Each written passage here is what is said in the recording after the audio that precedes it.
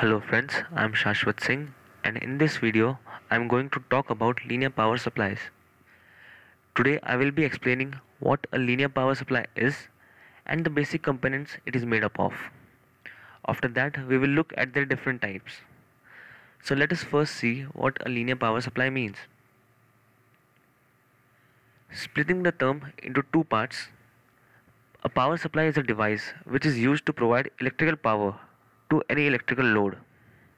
And the term linear means that the excessive voltage in the device is dropped through a dissipative resistive element placed in series, which is a regulator IC in this case. From this, we can conclude that linear power supply is a device which gives a constant voltage to an electrical load by dissipating the excess voltage through the resistive element. You will understand this in the following slide. Let us now see the basic components of a linear power supply. As you can see, there are four basic components of a linear power supply. The first is a transformer. This is a device which is connected to the AC mains and is used to step down the voltage to the desired level. The output voltage of the transformer depends on the ratio of the number of turns on the primary side to the number of turns on the secondary side. The second element that is the rectifier it may be a center tapped or a bridge rectifier depending on the requirement. Nowadays, ready-made rectifier ICs are also available. This rectifier converts the input side input sine wave into a pulsating DC wave. Now this wave is applied to the filter capacitors. The capacitor is used to smoothen the waveform and reduce the ripple from it. I will explain its working in the following slides. Last component of the linear power supply is the regulator IC, which is used to maintain a constant voltage at the output. This device handles the varying voltage at its input side and dissipates the extra voltage to give a constant voltage. Let us now see the circuit diagram for better understanding. So this is the circuit diagram of a simple linear power supply with the waveforms at its different stages. Now this is the transformer which I talked about. It is uh, the primary side of the transformer is connected to AC mains. The secondary side gives the step down voltage. This is the rectifier bridge. The output of uh, this stage is shown in this waveform. It gives a pulsating DC output as I told you. Now this output is given to the filter capacitors. As you can see the filter capacitor smoothens the wave and gives a waveform like this.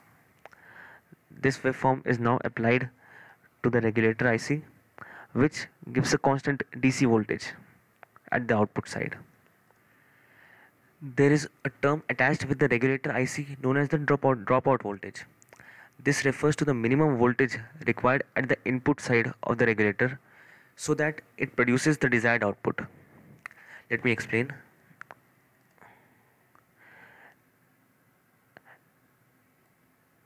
Assuming the out desired output voltage is 5 volts. And the dropout voltage as mentioned in the regulator datasheet is 3 volts.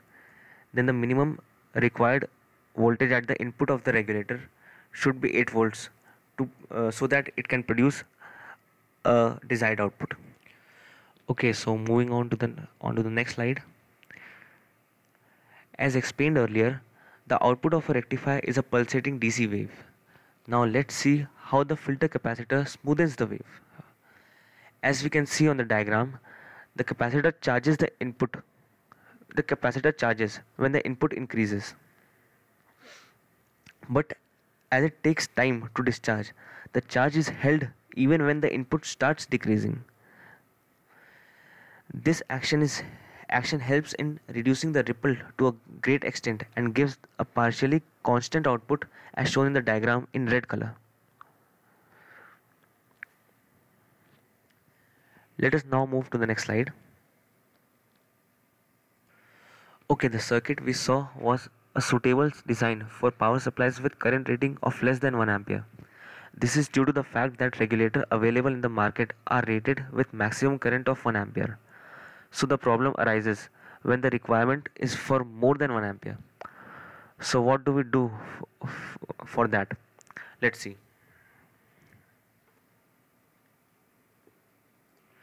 So this is the circuit for linear power supply with current boosting to get currents greater than 1 ampere. As you will observe, the basic circuitry remains the same with an additional trans transistor and a few resistors. So let's discuss, discuss its functioning. Initially the circuit will work normally and the current flows through the regulator till it reaches 1 ampere point. Now as we all know that transistor is a current control device hence this property is used for current boosting circuit. The value of resistors are so chosen that once the current reaches 1 ampere point the base collector junction will be forward biased. and hence the excess current will start flowing through the transistor.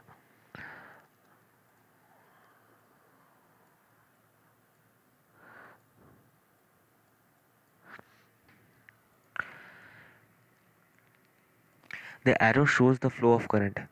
So what's happening is regulator is driving the rated load and the excess current is being supplied by this transistor path. This will prevent the regulator from being damaged and also will supply the required current to the load.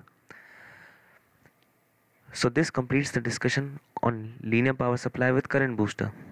Let's move ahead and look at some pros and cons of linear power supply. Okay, so first look at some pros. Simple design.